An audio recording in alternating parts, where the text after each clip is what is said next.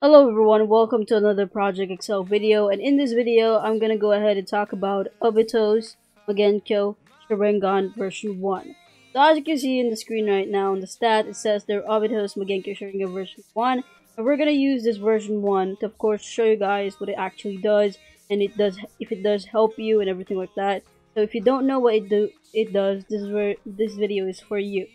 So as you can see in the screen right now, this is what um Obito's Mangekyou Sharingan is going to look like. It's gonna have this kind of shuriken type of um, uh, eye. If you look here, as you can see, and that's when you know you have Obito's Mangekyou Sharingan version 1.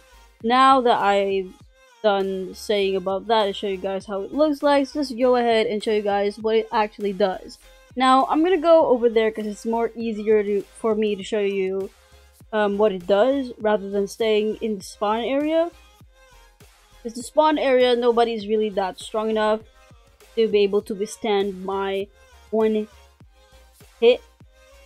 So I really can't do anything there. So we're gonna go to the other side. Where I'm going as fast as I can right now. And hoping that I can reach the other side. And boom kind of reach it, but not a lot.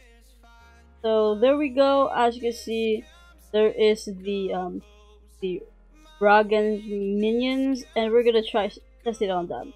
So I'm damaging this, and then this guy over here. So there, as you can see here, they are following me, and if I click V, they'll stop following me, but they'll do punches. They're still gonna do punches.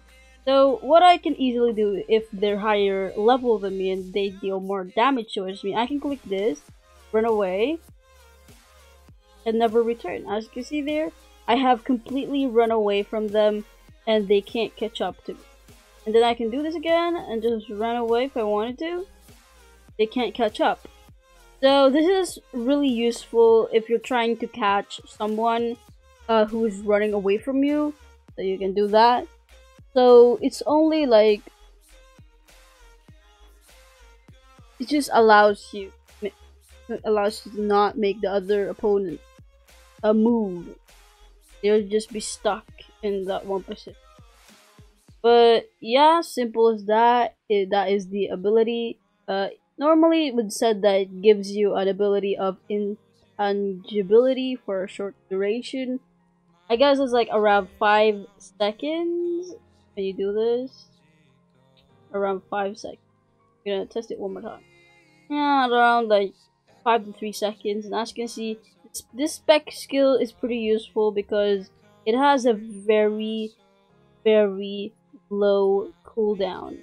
So if you see there, it like takes like around 5 seconds cooldown. So I'm guessing right now that the uh, um the spec itself is around 3 seconds while the cooldown for the spec skill itself is 5 seconds. But yes, that is Obito's um, Mangekyou Sharingan. I have no more information about this um, Sharingan right over here. If you want to know more about Obito's Mangekyou Sharingan, I would really recommend you to watch a different YouTuber that knows more than I do. And they can tell you guys a lot of information about the about the Sharingans more than I do. But yes, that would be it once again for this video. I have nothing more else to say.